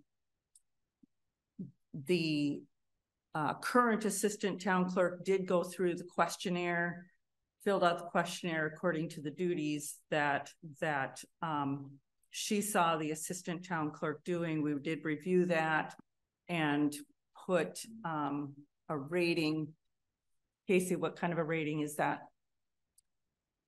Um, applied the rating to it, the rating that, that we use to determine where, where people land or where that position lands in the, in the, uh, comp plan, which is where she ended up in grade E. So I know that's kind of a long, lengthy explanation, but basically moving, moving the assistant town clerk from a grade C to a grade E. Got it. Any questions on that? I guess we could use a motion. Would Anybody like to move that we I'll- recommend? I'll make that motion. Move to recommend, uh, Article four as written. Second. Second, all right. Um, any discussion? No. All right, roll call vote. I thought you were about to say something. Roll call vote. I thought about it, but We'll go the other way. Dave Sharp, Dave Sharp, aye. Mark Brennan, Mark Brennan, I. Julie Chalvin, I, Beth Brown. Beth Brown, aye. James Cambias, I. All right, that's unanimous, five zero zero. Um, let's try Article So we'll, we'll close our meeting if you don't Oh, mind. okay. Um, Go ahead. And uh, first, I want to say thank you for spending so much of your time talking about that and moving that. I, I thought it was important for the finance committee and the select board to be roughly on the same page, and I think we are, and I appreciate your consideration. So I will move to close the select board meeting. I will second that. All those in favor? Tim Helgi, aye. Carolyn Ness, aye. Thank you. All right. Thank you. Thank you. Um, I think there's two others that you might be interested in, Brenda, and then Okay. uh, may or may not be, but and then you'll be able to go too. So let's do Article six, which is the um select board purchase, acquire, take by eminent domain, the parcel of land. Um, two point one acres. This is the, are we allowed to say where? This is St. James Church. Yes. Yep. So. It's a Um, piece, of piece of property that's adjacent to the library, correct? right, yeah, just north Um, of the library. Yeah. No, there's Is another it- house in between. Is there a No. house in between? There It- is, it- there it is a is a house in between behind. and then Yeah, it I wraps it around it. around. Yeah, Okay, But I think that is something important to keep in mind. that Yes. Those guys Yep. would be surrounded. yeah. I would be sweating if I were that. Yeah, homeowner. which is a shame because it's a lovely house. So, oh, hey, you have a picture. Look at that. Oh, But it's like, they're the one people who oppos- oppose the library construction that I can understand. Yeah, I see. Yep. so it's part E right there. Thank you. Tim. Okay, yeah, that's great. So, um, this- So- at town, oh, sorry. Go ahead. Yeah, yeah. Okay, at town meeting, I feel like this came up, people were asking. Bar, this was what the, someone was wanting, It- I think there, there was some. There, there was some discussion, I don't know if, it- if they were talking about this specific property, but uh, the, um, the, uh, Community Preservation Act funds that were dedicated to senior housing included the acquisition of property Right. for the And this was housing. that piece of property that they were talking about. They weren't ready to talk about it yet because there wasn't an appraisal Right. finished. Got it, okay. So is there, it says eminent domain in here. Is this a friendly, go ahead, Casey. Okay, so I actually just had this conversation yesterday. So eminent domain language, that language is actually required to be in the article. It always looks kind of scary to people, but the language is meant to convey the fact that if necessary, some of the some of the and I don't I'm not going to say this right, David. um some of the additional needs like easements and stuff that's actually part of it it just you don't always need to do that but you always have to have the language available in case you have to in a motion The way I've heard it explained before is that if it's a friendly eminent domain, then you've agreed to the purchase price. If something comes up that hangs up that purchase, you can still proceed through eminent domain. Um, if necessary, but I just want to make sure that it's friendly, that this, whoever owns it is interested in selling and all that. Go ahead, Casey. we have a signed offer to purchase from the owner Okay, good. Oh, okay. yes in other words i didn't have it at that like i hadn't had it returned it was returned to me this afternoon Yeah, I had talked to the person. I had a name, a number, and the number that you see is what's pu- is published in the warrant. But I didn't have a signed offer to purchase. But I had a verbal, a verbal ac- acquiescence to that, if you want to say it, or agreement. And this is, so you, as you brought up, this was voted at last town meeting to use CPA funds um, for this purpose. So there's a designated, and it's already been voted once essentially. So this is not, a this is not an additional expense. either. No, it's not. Correct. The CPA funds cover this entire. Yep. amount. Right. Yeah, the uh total authorization or appropriation was for five hundred and seventy-two thousand, which which includes this. Well, that's easy. Any discussion? Do we have a, we don't have a motion? Do we? I Any- move that we recommend Article six as written. We have a second. Second. We'll give it to Dave. He was louder. Um, any discussion?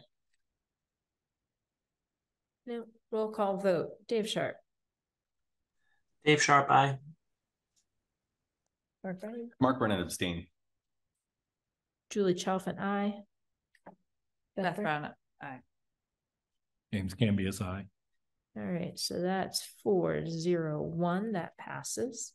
Um, and the other one is Article eleven, the roads that, um, Snowberry Circle and Graylock Lane.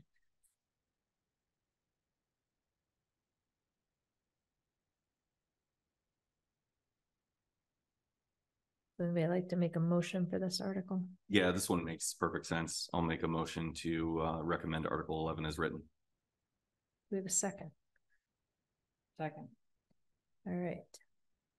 Um, so this will. And I assume this was the plan all along, but once we accept it, then we will have to maintain it and um. Plow it and whatever, all that stuff.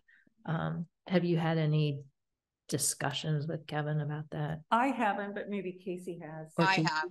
Yeah. Yes, we talked about that. Um, he didn't have a firm number as to what maybe a percentage that would be additional, but he does have plans in place to maintain this.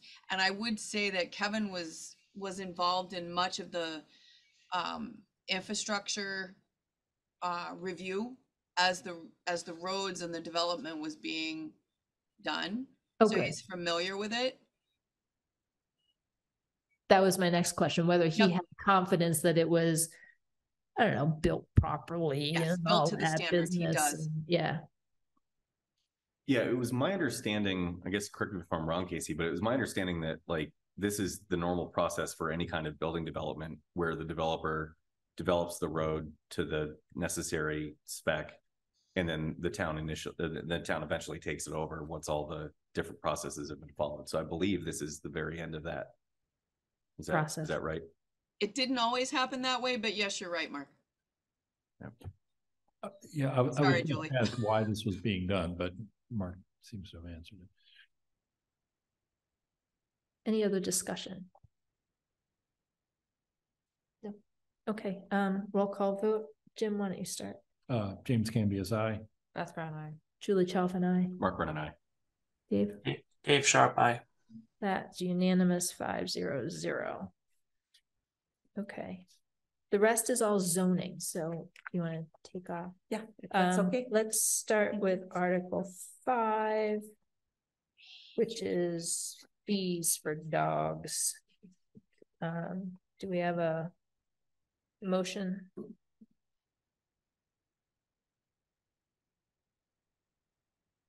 I move to accept Article five as written. Have a second? Second. Any discussion? Casey, do you have any like, um? It just went up five bucks, right? That's pretty much the change. We're getting rid I'm of. sorry. Um, Article five for the dog licenses. Um, Oh, yes. So it just went up I'm sorry. I was trying, that's what I was, I couldn't really hear what Beth said. So Article five for the dog licenses.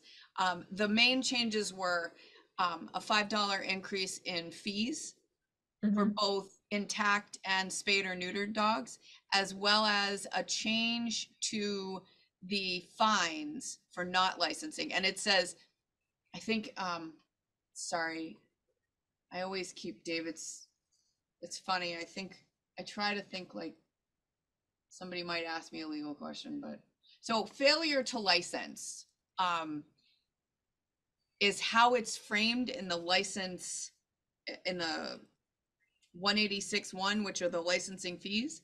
And that's really the penalty or the fine. Um, so that actually decreased and became staggered. So between May first and July first, there would be a twenty dollar fine or late fee. After July first, it would be a thirty-five dollar fine or late fee. Penalty, I guess we could call it. Okay, And then it looks like it's also adding, um. No fees. for Service Service animals. animal.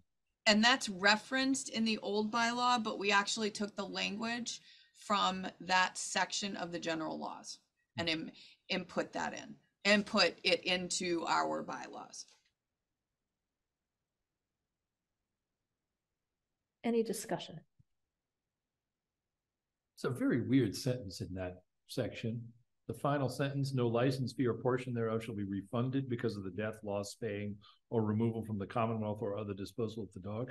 So it's not charging a fee, but it won't be refunded. It's ex- it's the language from the law. I'm sorry, guess James. I can't explain it. Somebody tried to get a rebate It seems like it would be a separate, for their dog. like died. it should be item I instead of H and it would Yeah. say it applies to the whole thing, I Ours would think, $10 but Yeah. whatever. But you know, I didn't pay my ten dollars because it's a service dog, but I want my ten dollars back because my dog died that I didn't pay. Uh, all right. Any? I don't know. It doesn't, I'm sorry, James. It doesn't always make sense to me when I read it, but I actually, council's reviewed this several times. And that was the way it was, im- it, it was written for the bylaw. It doesn't make sense, but the lawyer approved it. I'm sorry. Sorry, David. What, wasn't me. I know it wasn't you. It was sort of a combination of the legislature and All right, council. let's, let's go on. Um, any other discussion on the, the article? Besides that nonsensical sentence? No, okay, let's do roll call vote. Jim, why don't you start? Uh, James Cambias aye. Beth Brown, I. Julie Chalfin, I. Mark Brennan, and I. Dave Sharp, aye. All right, that's unanimous, five zero zero. Article six, we already did. Article seven. Um, is a big mishmash of stuff throughout the zoning bylaws. Um, you all got, yeah, I emailed that out a couple days ago. Um. Anybody have So my question is, is this gonna have any financial impact at all? Do, is this even our business? Um, I, I think it does. Um, somewhat peripherally. But I, but I'm in favor of anything that makes the zoning bylaws clearer and easier to comply with, because I think that encourages people to come to town and build in town Probably reduces our Um, legal expenses. and reduces the, yeah. Um. So, actually. I had a couple questions. But I just wrote down the section number and what it was. Um. One question I had, Casey, section forty-three twelve says the town administrator is gonna be the floodplain administrator. Am I on the right, right section? No, is it, um, if it's in floodplain, right? Oh, that, that's in the different, So it's actually, it, what they did, let me just explain why we have three articles. Um, the main zoning article really addresses inconsistencies, um, clerical, that sort of thing, clerical mistakes. right, But they separated, and, and you'll note that floodplain and conservation subdivision okay, are part of the main yeah. bylaw, but they separated it out into three sections in case, for instance, if the main zoning, which is Article seven, I think, if that main zoning bylaw fails, we have the opportunity to address conservation subdivision and floodplain, because in conservation subdivision and floodplain, there's state and federal requirements that we have to meet. And floodplain actually has that reference to town administrator doing certain things. And I had a conversation with the uh, planner up at the cog because I questioned it myself. And her advice was to have a, it, first of all, it has to be a staff member. Second, that staff member should have some connectivity to various departments and the ability to have some authority over signing certain things like applications and that sort of thing. And reporting back to various um, state and federal agencies. So her suggestion was the town administrator. And after she discussed it with me, I understood it better. Is this something that you can delegate in any way? Can you? You get can, you can also assistance coordinate it from- between departments. Okay, so you could That's get one of like the the reasons they planner said she or the suggested it. assistant town administrator to, uh, to Correct. assist with this? Okay. Yep. You can delegate it. You can also make sure it gets coordinated through delegation. On, um, so, so on the one we're actually talking about, um, section twenty-one ten, where we're talking about the different overlays. Um, here, let me share this.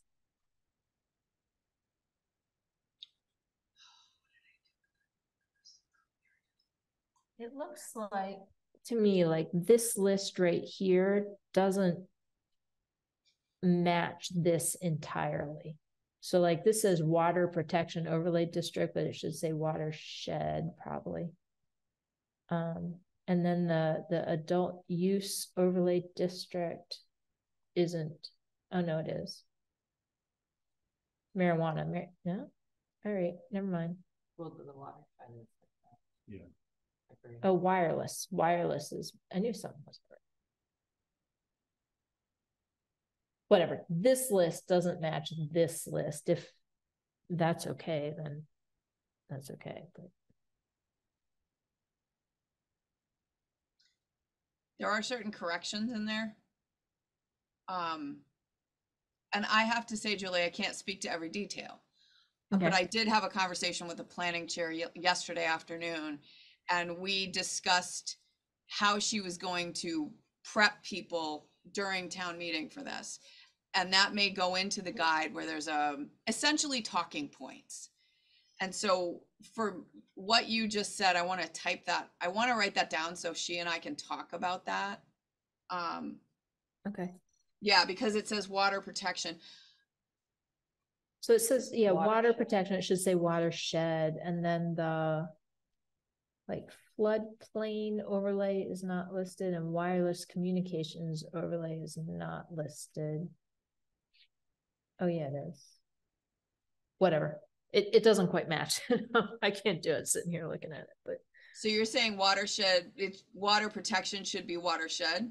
yes. And that's the thing, I haven't looked at every single detail. I looked, there were certain things that I made comments about before they had the hearing, but not that.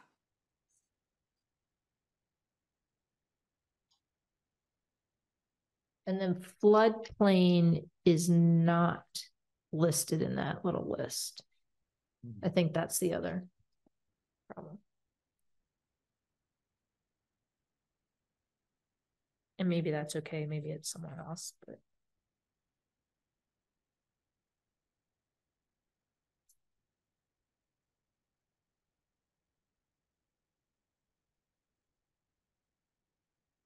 Does anybody else have comments? Or questions on this? I do. Um, I think thirty-six sixty is a little too heavy-handed. Um, you know, with pretty much all of Deerfield having, you know, either be like a wetland or floodplain or have a lot of water. I, I could see, uh, certain residents, let's say on Lower Road, um, or maybe even Upper Road, people who have like a, uh, substantial part of their parcel, um, have, uh, an incline like they're talking about, uh, coupled with, um, a house and a driveway, not even being able to, you know, put up a shed under this new, um, this new number that, that they're proposing here. It's going up from uh, twenty percent to fifty percent. So I think like on paper, this probably sounds very reasonable if you've got a, uh, a level, um, plot of land, but I, I think this could put a, you know, a potential financial burden on, on people who, you know, might not be able to, uh, without I was- crafty. Yeah, I, I wrote that down, so that's actually not the article we're talking about right now. Oh, oh, but, sorry. Is it? Um, It's not? Are no, Seven? we're on seven, that's article. I don't know what, Oh, because this is section Nine or thirty-six hundred. If I'm on the wrong one, I apologize.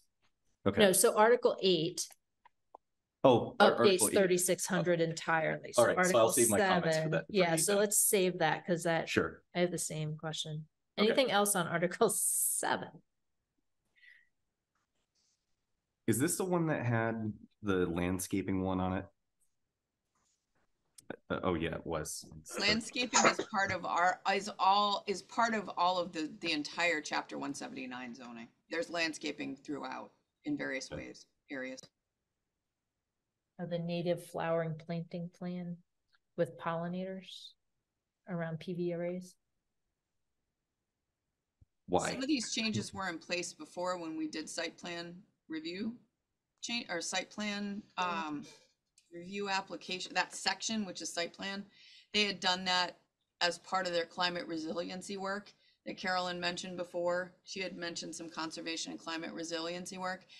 There were changes to the bylaws that have been made over the past couple years that included some of what you're questioning.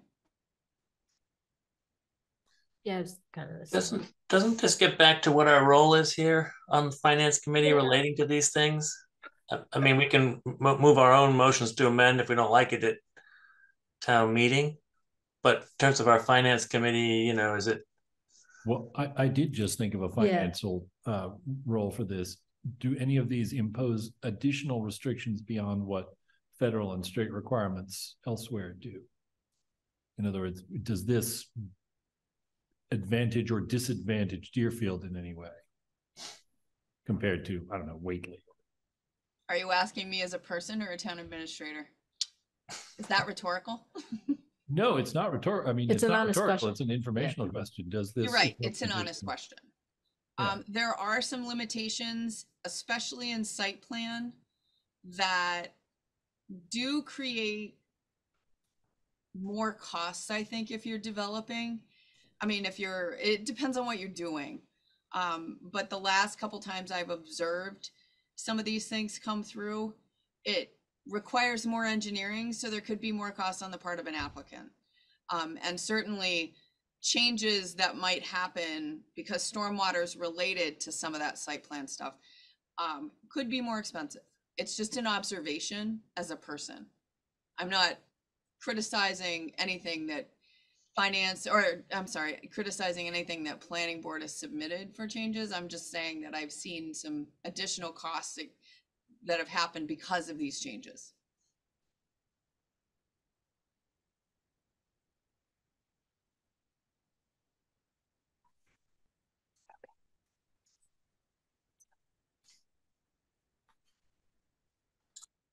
Any other comments or discussion?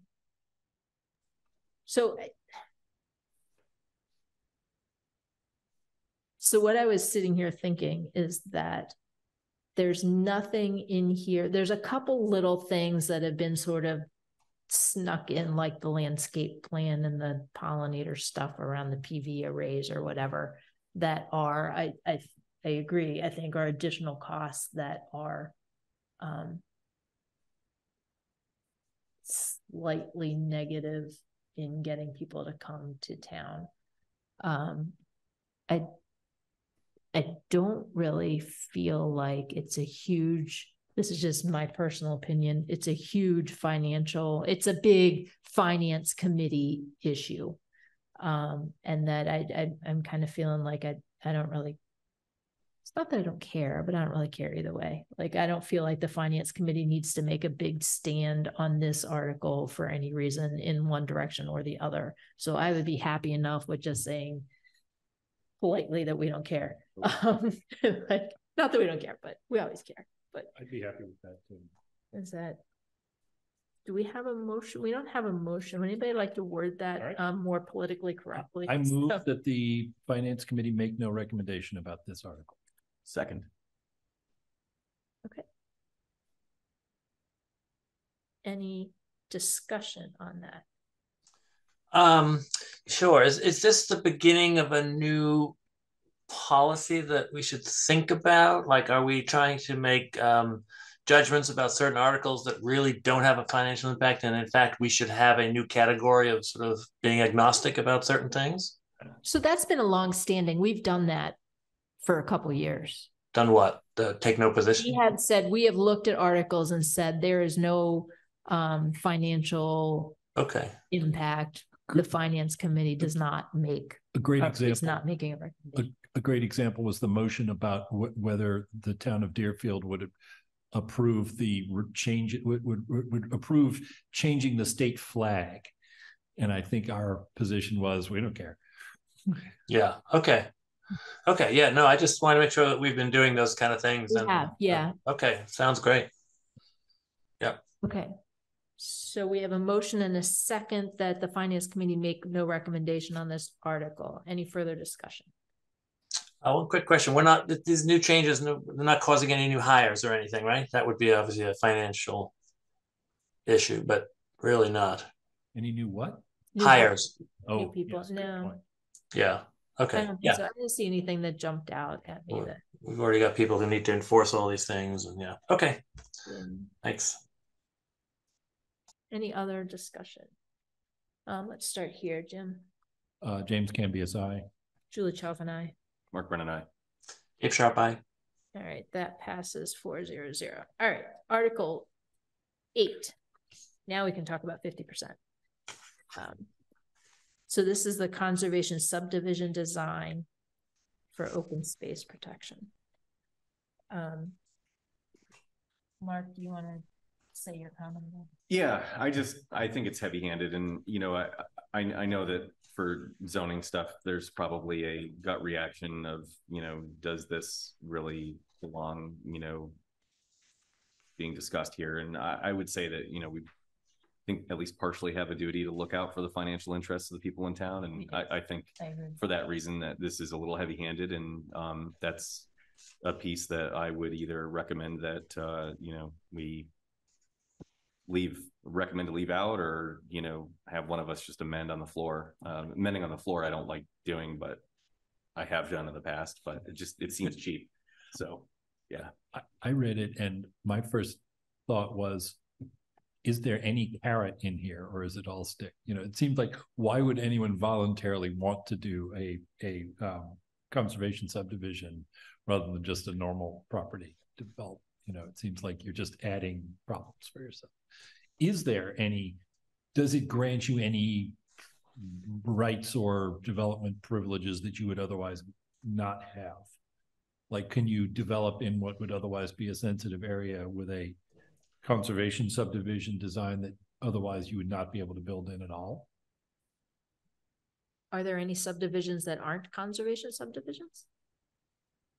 I can't honestly answer that question. I do know that functionally, most subdivisions have to go through a permitting process that's fairly significant because both Conservation Commission and the Planning Board in their in their authority over stormwater, it requires quite a bit of work. And there are some costs associated that are higher than you might think. But that's just me observing, James, not with any real concrete data.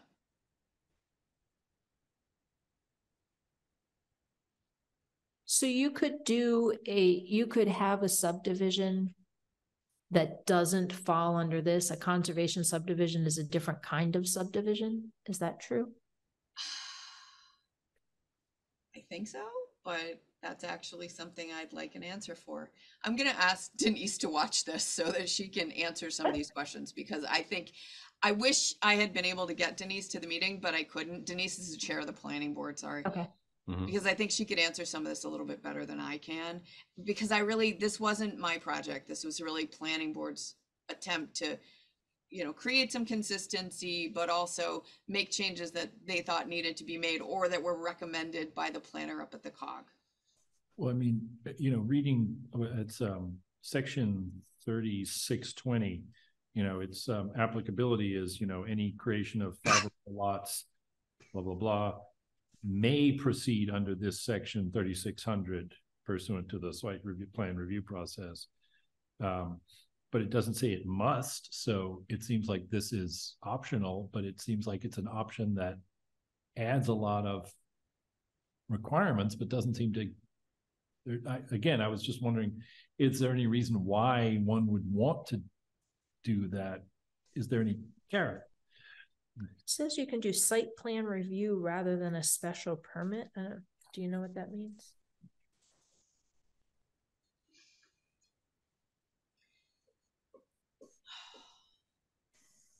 So Yeah, let me back up to an experience the town had when we were working on the park project. We had a combination of site plan review, special permit, and stormwater. If you allow a subdivision to go through without, or, or optionally use this section that doesn't require site plan review and special permit, I would, I would think there's, and I know there's different requirements for, or certain requirements that fall within both those categories. Um,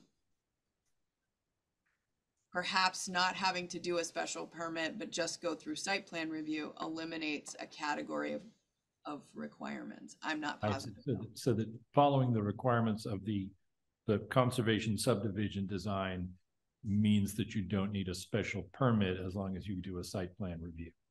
Right, that's how it reads to me. But I'm not a lawyer.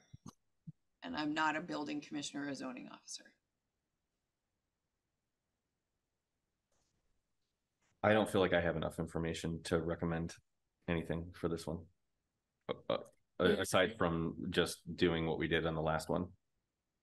Or holding off on voting on this until a later time. I had the same reaction to the fifty percent because it's not just fifty percent of the land, it's fifty percent of the land in addition to, like, you exclude the steep stuff and the wetlands and all that, and the stuff that's left, you have to say fifty percent of that. Yeah, So you're like, and that wipes out like a lot of the lots. a lot of the, Which, Land. which subsection is that in? Is that? Thirty-six sixty. Is thirty-six? Fifty percent of the project will be permanently protected, excluding required units.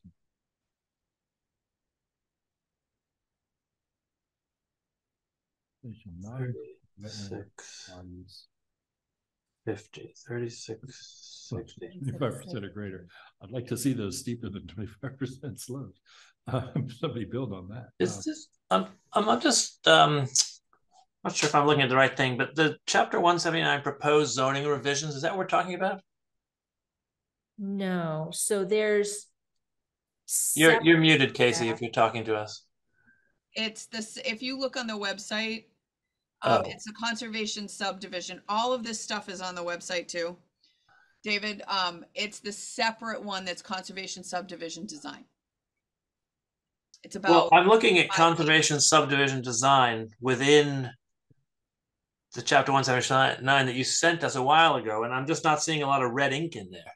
Yeah, that's because that- they separated it out. So I, okay, so I apologize, I'm, can't really participate there, I don't know which, Red ink. Which parts we're talking about. Here. I mean, I'm seeing it, but I'm just not seeing a lot of changes, okay. Here's the piece with the changes. So what they did, David, there's chapter one seventy-nine, and then they didn't do this piece in one seventy-nine. There's a separate article that addresses this piece. Because it's significant changes and not just touching up Yeah. grammar, okay, all right.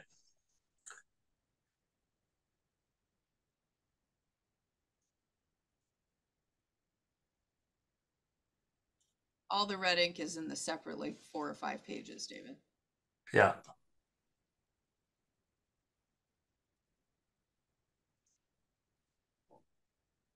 So with that, I'm, I'm kind of where you are without planning board here able to discuss it. Um, I don't feel like, Can we just make a motion to not? I don't, I can't remember how you put it on the last Table it. one. Oh, oh, to not recommend? I was gonna say either to not. make no recommend- recommendation. Leave no recommendation, and then if we can meet with the planning board, then maybe make a new recommendation. Other than tabling it. Or, or. So or we could just tabled. not vote. We have, we have no motion right now. We could just not do anything. Oh, And it would okay. say nothing about finance committee. And we can just skip it. Yeah, yeah, but what, yeah, whatever, I guess, non-committal path we choose, I, I'm, I'm in camp non-committal on this one until I get more information. I information. like that. Yeah, Okay, no motion was made. do you guys want to see if we can schedule a time to meet with the planning board to discuss these things between now and town meeting? Uh, Yeah, that would be If we can come up with a time? Yeah. It's Cutting it close, but yeah. Okay. We'll try and do that. Cause I, like, uh, you know, I, my, my initial reaction is this is kind of heavy handed, but I want to see if there's a logical reason for it. Maybe it was, maybe there is, maybe it was copy and pasted from another town. Um, I don't know. I But mean, Isn't it- I mean, it's, go ahead, Dave. Isn't this a provision that's you know, giving people um, a tax benefit for for preserving certain amount of the land in their subdivision?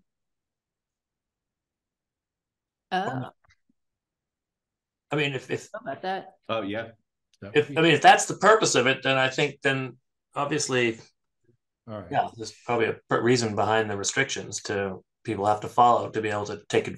I mean, if we're if it, we're as a town are going to subsidize certain developments for people so they get a lower tax rate, seem, seem, seems like those conservation restrictions would be um, as part of the trade off. Yeah, Yeah. and it makes- is I don't know labeled it's associated conservation that. subdivision, so you have to conserve something if you want to be there. Yeah, Yeah, that, okay, that makes more sense. Yeah, I, I hadn't thought of that. But no, I think it's land that's already being taxed at a better rate, right? Yeah, but it doesn't say that anywhere in this Mm-mm. bylaw. I don't know if it's associated with that. That's a good question. Yeah. For either the chair of the planning board or the planning board. Yeah. Um, Do you Okay. want me to, to let Denise know that you want to discuss it more with them, with you, with I somebody? can just, I'll reach out to her and Okay. see. Yeah. Um, okay. So does anybody want to make a motion on this now? I'm hoping nobody says yes, but. Okay, we're gonna move on then. Um, and then the other, the next one is Article nine. So this does have a financial impact, folks. And the reason they separated this out, there are federal and state requirements the town does not meet in its zoning. So the major changes in this address that. But the importance of the article is if we don't make these changes and meet the federal and state requirements, it could jeopardize all the residents' um, ability to protect their property if they require flood insurance. Are you gonna have a map that you can show at town meeting that shows where the floodplain stuff Mm-mm. is? I would say no because the floodplain maps date from the 1970s. Okay, cause And I there, went we don't have the ability online- unless somebody gives me something electronic. I don't think we have the ability to actually show that. They're on paper. We are two years out from new floodplain maps from the federal government.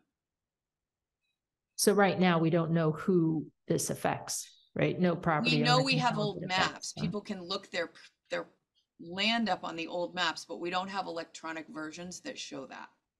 Cause I went to the state website trying to find where it was in Deerfield and um. I could find floodplain areas in like Amherst and eastern part of the state and stuff, and there was nothing in Deerfield on the state website. My understanding is we are the last county to be addressed. Ah. And I specifically asked Peggy at the COG when we could expect them. And I, I, I, I got a facial expression. Um, she's, she's the one that told me basically we're two years out. Um, I can ask her if there's something that's available, but I don't know because I, I know that those maps exist on paper. Okay. So section 43, you're not going to be able to answer this, but um, 4307, wherever that is, there was no grandfather in it. Uh, let me find this. Sorry, I just pulled it up. Let me look at it. 43 what? 4307.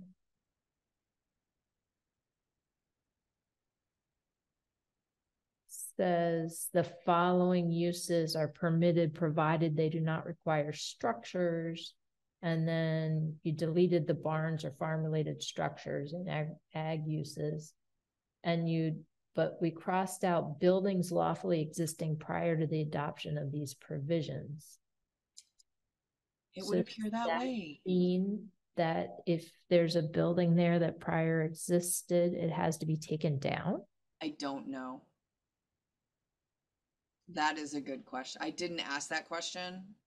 I probably should have, but I didn't, when I was looking at it, I didn't ask that question.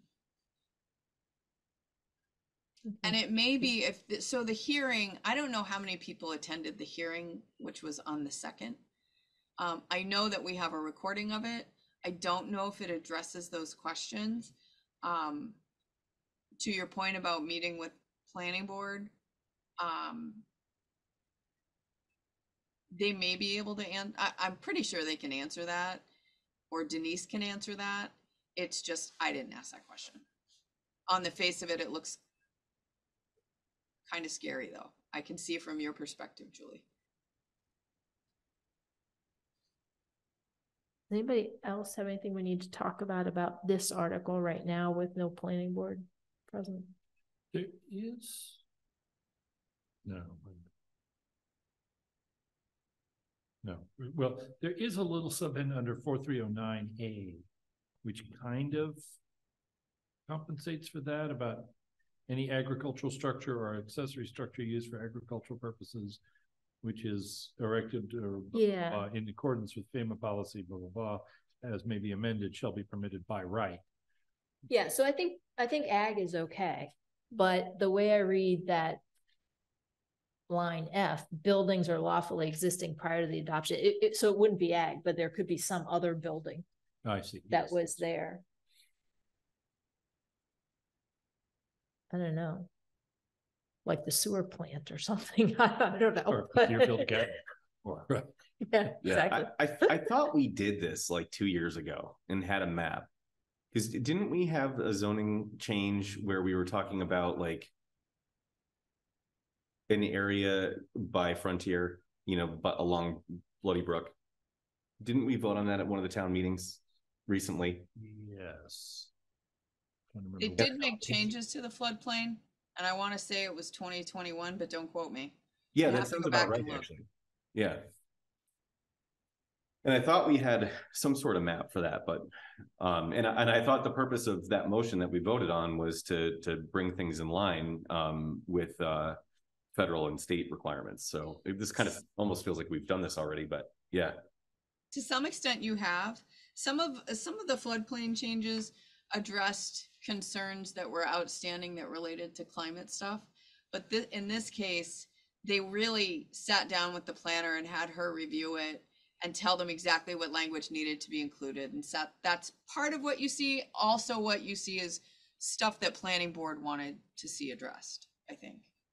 Okay. That's my understanding. I think we should just chat with them. Yeah, I think so too.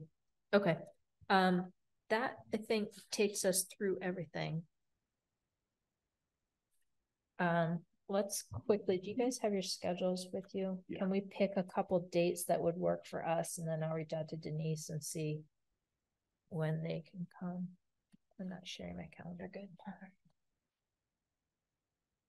Um, so it needs to be, what's today? Wednesday. Wednesday, so we need forty-eight hours in advance, so the soonest it could be, would be next week, Monday night, so. I can do any day next week. Can't The do only- Tuesday because there's another There's CCI. CCI, we could do it early before C, oh no, but Denise had something else that she had to do, so she definitely won't be able Yeah, to. she moved that to be later. I Right, can't do Wednesday after six. I and there's think a that, select board meeting then anyway. oh, good. Oh, but we could do earlier, we could do like five, I don't think this will take long. Right, we have Hope a couple specific questions, and we could just do it by Zoom. Oh, that's true. Yeah, in other words, just a remote meeting. Um, Friday is kind of a bad evening for me as well. I have a prior commitment Let's not do Friday. at seven. So we could, Monday, does Monday work for everybody? Actually, Monday works well for me. Monday would be fine. Okay. Monday, uh, be good if it's at five, because there's a personnel at six. Yeah, we have personnel at six. I'm fine with that. Let me check the schedule too, Julie. Give me one sec Give me of one what's second. Oh, on okay. our um current accounts. It'd be Okay. incentive to move briskly. Yeah. And then Wednesday also, we could do early, like five PM or something before select board. But Monday's preferred. Is that what I'm hearing? For me, yeah. Okay, I have no difference for either. I mean, okay. Um, double check. Casey. Monday, we only have personnel, so far as I can tell, Julie. Okay, Um, Like David said, we have a six o'clock personnel board meeting, but but if we did this at like five and we're done by five fifteen. it's David that has, so we only have then, uh, quorum if David shows up to personnel. Okay. That's So one we of the reasons he six said for that. sure.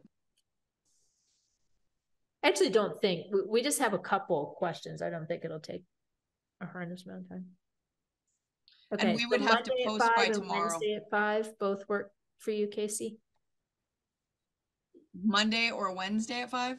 Yeah, Uh, Monday. Mark, what about Wednesday for capital? We could do capital Wednesday at five. That's I the would- thing. If you're gonna talk to planning, you can't be at a finance committee meeting if you've got a capital meeting. Yeah, Yeah, Same as David with personnel. okay, so we'll We try. just Monday need to at five. adjust whatever you guys decide. I'll, we'll have to figure it out. okay. Monday at Go five. with it, Julie, and see what they say. Okay. We'll try that. All right, that's everything. Anybody want to move to adjourn? Motion to adjourn. Second, Second, Jim, why don't you start? James Canby is aye. Julie Shelf and I. Mark Brennan, and I. Dave Sharp, aye. All Thank right, you. we're done. Four zero zero. Thank you, everybody.